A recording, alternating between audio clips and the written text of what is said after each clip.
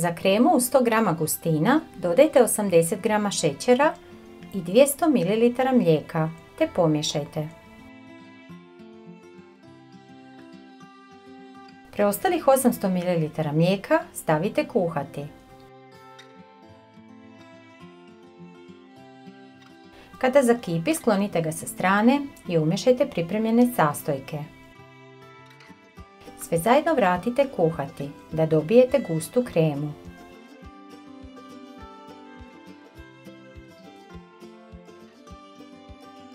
Vruću kremu prebacite uz dijelo. Pokrite prozirnom folijom i ostavite da se ohladi. Kalup dimenzija 21 x 36 cm pouljite i pobrašnite. Za biskvit uz dijelu dodajte 4 bilanjka, prstohvat soli i izradite u čvrsti snijeg.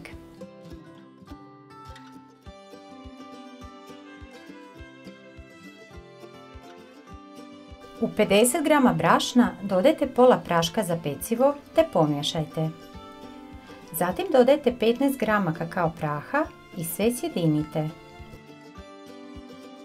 U drugu stijelu dodajte 4 žumanjka i 60 g šećera te miksajte dok zapjeni.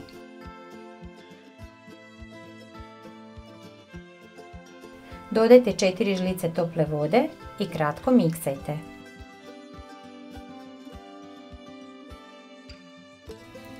Nastavite dodavati pripremljeno brašno te sve sjedinite mikserom.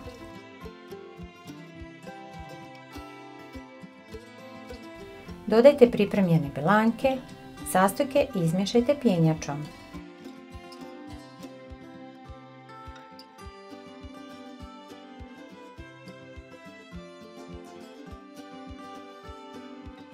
Smjesu rasporedite u pripremljeni kalup i stavite peći u zagrijanu pečnicu na 180 stupnjeva oko 20 minuta.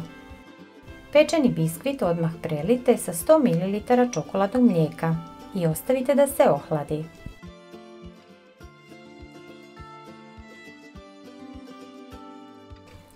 Kremi uklonite foliju te ju izmiksajte.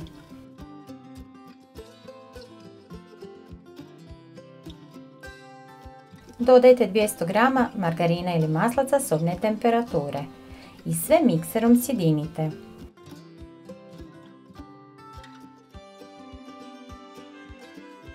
Kremu rasporedite preko ohlađenog biskvita i poravnajte.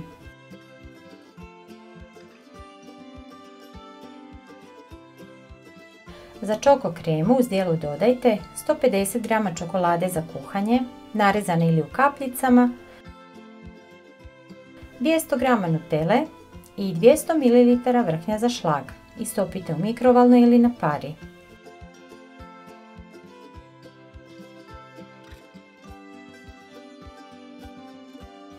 Rasporedite preko kolača i stavite u frižider na hlađenje.